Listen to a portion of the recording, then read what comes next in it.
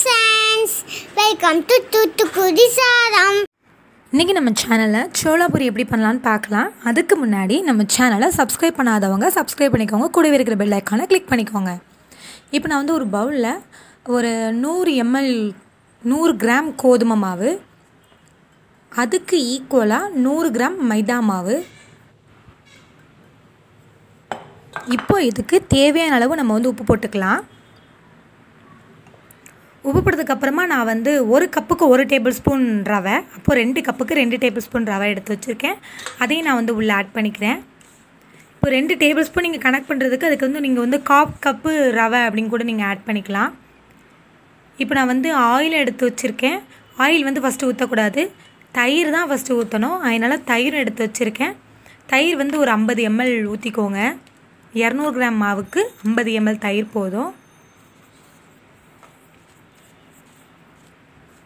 இது நல்லா மிக்ஸ் பண்ணி விட்டுக்கோங்க. அது கூடவே இப்போ நம்ம வந்து ரெண்டு டேபிள் ஸ்பூன் ஆயில் ஊற்றிக்கலாம் ஒரு டேபிள் ஸ்பூன்லேருந்து ஒரு ரெண்டு டேபிள் ஸ்பூனுக்குள்ளே நீங்கள் வந்து ஆயில் ஊற்றிக்கோங்க நல்லா மிக்ஸ் பண்ணி கொஞ்சம் நல்லா இந்த மாதிரி பிசைஞ்சு வச்சுக்கோங்க ஃபஸ்ட்டு இதுக்கப்புறமா தான் நம்ம வந்து தண்ணி ஊற்ற போகிறோம் தண்ணி ஊற்றி நல்லா பிசைஞ்சு விட்டுக்கோங்க. ரொம்ப தண்ணி ஊற்றிடாதீங்க கொஞ்சம் கரெக்டாக கொஞ்சம் சப்பாத்தி மாவு மாதிரி கொஞ்சம் பிசைஞ்சு எடுத்துக்கோங்க. பாருங்கள் இந்த மாதிரி சப்பாத்தி மாவு மாதிரி தான் ஃபஸ்ட்டு இருக்கும். போக போக நமக்கு வந்து சாஃப்டாக ஆரம்பிச்சிரும். இப்போ பாருங்கள் உள்ளே எதுவுமே நமக்கு வந்து இந்த ரவை எதுவுமே ஊறலை. ஊறி நல்லா சாஃப்டாகி வரும். அது வரைக்கும் வெயிட் பண்ணலாம்.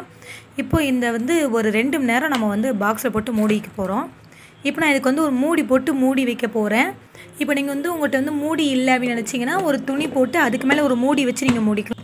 ரெண்டு மணி நேரம் ஊற விட்டுறலாம். இப்போ ரெண்டு மணி நேரம் ஊற வச்சு எடுத்துட்டேன். பாருங்கள் மாவு நல்லா சாஃப்டாக ஆகிரும். பார்த்தீங்களா பிடிக்கும் போதே நல்லா சாஃப்டாக இருக்கா? இனிமேல் இதை எவ்வளோத்துக்கு உங்களால் பிசைய முடியுமோ அவ்வளோத்துக்கு நல்லா பிசைங்க. அப்புறம் தான் அது சாஃப்டாகவும் நல்லா ஃப்ளப்பியாகவும் வரும். அதனால் நல்லா பிசைஞ்சு விட்டுக்கோங்க. நான் இந்த மாதிரிலாம் செஞ்சு நல்லா பிசைஞ்சிருக்கேன். நீங்களும் நல்லா துணி துவைக்கிற மாதிரி நல்லா துவைச்சி எடுத்துக்கோங்க அதை இப்போ இதை வந்து நல்லா குத்தி குத்தி எவ்வளோத்துக்கு எடுக்கீங்களோ அவ்வளோ தான் சாஃப்டாக இருக்கும். அதனால் நல்லா பிசைஞ்சிக்கோங்க. பாருங்கள் இப்போ பிசைஞ்சு எடுத்துட்டேன். இனிமேல் வந்து குட்டி குட்டி பாலாக போட்டு நம்ம வந்து உருட்டி எடுத்துட வேண்டியது தான்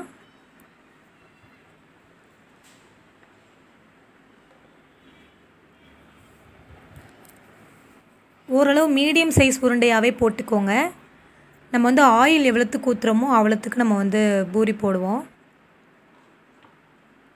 உருட்டிக்கலாம். இப்போ உருட்டுறது வந்து உங்களோட சைஸை பொறுத்து உருட்டிக்கோங்க. ஆனால் கொஞ்சம் கெட்டியாகவே தான் இருக்கணும். ரொம்ப நைஸாக உருட்டிடக்கூடாது. இப்போ பாருங்கள் இதை வந்து நம்ம வந்து பொறிச்சு எடுத்துடலாம்.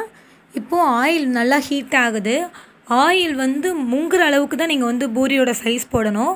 ஆயிலையும் மீறி பெருசாக போட்டிங்கன்னா அந்த ஆயிலெல்லாம் குடிச்சிரும். கொஞ்சம் அந்த ஆயிலுக்குள்ளே மூழ்கிற மாதிரி நீங்கள் குட்டியாக போட்டால் தான் நல்லா ஃப்ளப்பியாக வரும். எண்ணெய் குடிக்காது. இல்லைன்னா எண்ணெய் குடிச்சிரும். கொஞ்சம் பார்த்து கவனமாக பண்ணிக்கோங்க. இப்போ நீங்கள் வந்து உள்ளே போட்ட உடனேயே இப்போ கொஞ்சம் ஏறி அது வந்து ஃப்ளப்பியாக வரும்போது தான் கொஞ்சம் அப்படி நீங்கள் ப்ரெஸ் பண்ணி விடணும். லைட்டாக இந்த ஓரத்தெல்லாம். விட்டோன்னே பாருங்கள் பால் மாதிரி நல்லா ஃப்ளப்பியாக வந்துட்டு இப்போ இதை வந்து திருப்பி போட்டுடலாம். பாருங்கள் நான் வந்து மீடியம் ஃப்ளேம்லேருந்து கொஞ்சம் ஹை ஃப்ளேமுக்கு கொஞ்சம் கம்மியாக மீடியம் ஃப்ளேமுக்கு கொஞ்சம் கூட நான் வச்சுருக்கேன்.